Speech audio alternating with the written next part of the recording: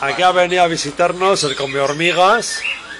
Oye, ps, ¿cómo se llama el chiquillo? Lolo. Lolo, Lolo, Lolo, el come hormigas.